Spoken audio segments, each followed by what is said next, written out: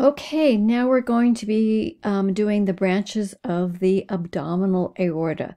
So we're now below the diaphragm. Still following, following your guide to arteries and veins, we are going to be looking at these major branches of the abdominal aorta. We're going to start with the topmost, the most superior branch. This is the celiac trunk. Now this celiac trunk is huge and it's going to give out three branches of its own that you'll see. The common hepatic artery, the gastric artery, and the splenic artery. So the first thing we're going to look at is the celiac trunk.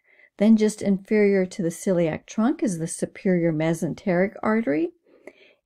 Now this guy has multiple, multiple branches because it is going to be supplying the pancreas, all of the small intestines, and most of the large intestines.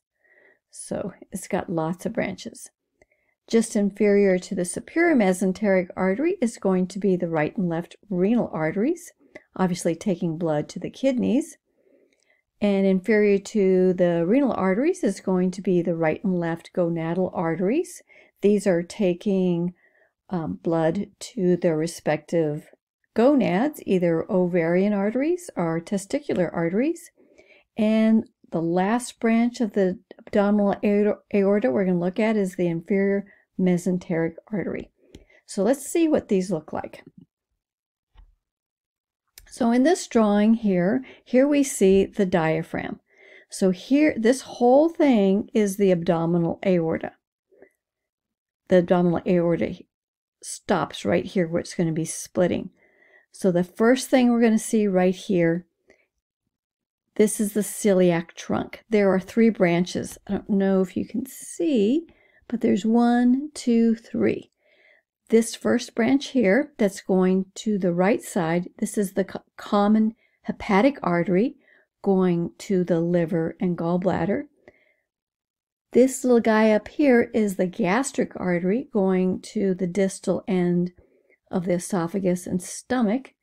And this guy is the splenic artery. He's going to be going to the spleen.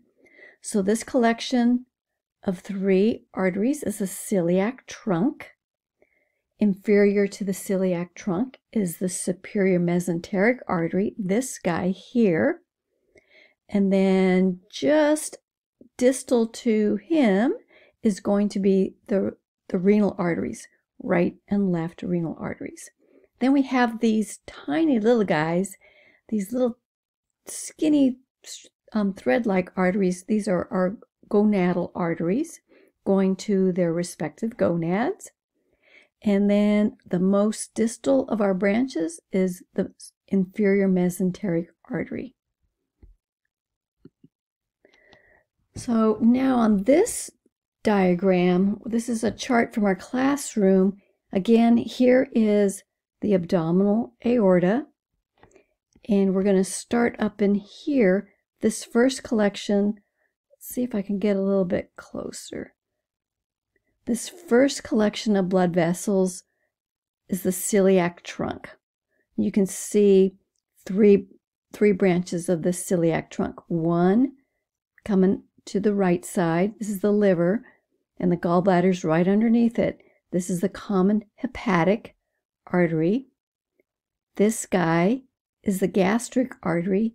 He's actually going to the distal end of the esophagus and the stomach. The stomach's been removed. And here is the splenic artery. You can see it going to the spleen here. Now here's our pancreas, and then we have, peeking out here, we have the superior mesenteric artery. And then just inferior to the superior mesenteric artery is going to be the renal arteries that you can't see very well in this view. And then these skinny little guys down here, I mean, you can barely see them. It's this little skinny thread down here. This is going to be the right gonadal artery. And on this side is the left gonadal artery. T hard to see here. And then the last branch of our abdominal aorta is this guy.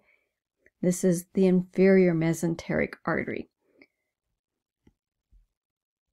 So I have another view here. Let's see if we can get a little closer on this guy. Again, the first thing we're going to see coming out um, underneath the ab, um, the diaphragm is going to, here's their diaphragm, is going to be the celiac trunk, three branches, common hepatic, gastric, and splenic. Here is our superior mesenteric artery. Here is our left renal artery. The right renal artery is peeking out here. Here is the gonadal artery. This one is the right gonadal artery going to its respective gonad. And here's the left gonadal artery going to its respective gonad. And here is the inferior mesenteric artery.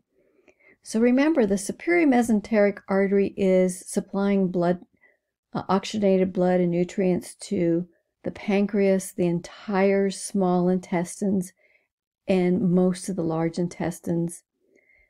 The inferior mesenteric artery supplying oxygenated blood and nutrients to um, the last part of the large intestines. So once we get down to the end of our aorta, so here's the the end of the aorta, it the aorta is going to split. It's going to bifurcate into these structures right here. This is the common iliac arteries, and they are right here. Here's the iliac crest of the iliac bone. So right at that junction, that's where the, you're going to get this split of the abdominal aorta. So this is the common iliac artery on the right, common iliac artery on the left, and here's the internal iliac artery here. Here's the internal iliac artery here. So these internal iliac arteries are going to be supplying, we are now in the pelvic cavity, supplying blood to pelvic organs, the bladder in males and females, and the uterus in females. So common iliac, internal iliac, and then this is going to be the external iliac artery. External iliac artery on the left, external iliac artery on the right. See, I think I have a model. Ooh, way too close there.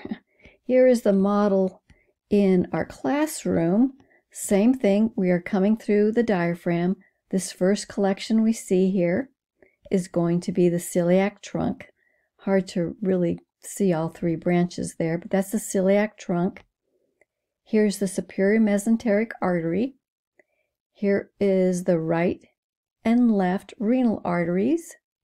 Here are the little gonadal arteries going to their gonads. And here is the inferior mesenteric artery.